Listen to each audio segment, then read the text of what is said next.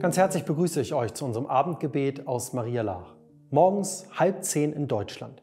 Schöne Bilder flackern durch die Werbung und am Ende essen einige Leute ein Knoppers.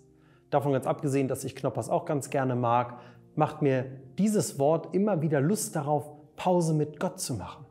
Was war heute meine Stärkung zwischendurch? Was war heute der Moment, wo ich Gott in meinen Alltag reingeholt habe, wo ich mich von ihm habe neu justieren lassen, wo ich innegehalten habe, um ihm zu danken für das, was war und ihn zu bitten für das, was kommt.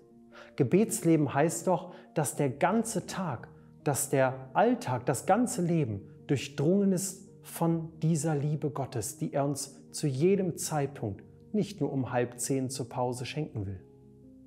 Steh auf und iss, sonst ist der Weg zu weit für dich, sagt der Herr zum Propheten Elia.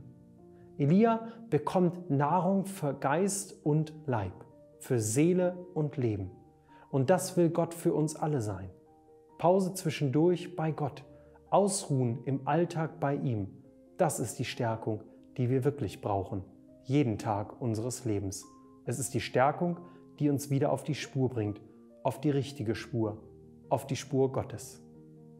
Lasst uns diesen Tag mit einem Gebet beschließen. Herr, Leib und Seele brauchen gleichermaßen immer wieder Pausen, Ruhe und Momente der Stärkung. Du stärkst Leib und Seele jeden Tag aufs Neue, jetzt in diesem Moment. Schenke uns die Kraft, dass wir in dieser Nacht ausruhen können, um uns mit neuer Kraft in den morgigen Tag zu begeben, in der Gewissheit, dass du ihn umfängst und dass wir uns jeden Moment des Tages an dich wenden können. Ich wünsche euch einen schönen Abend und eine gute Nacht.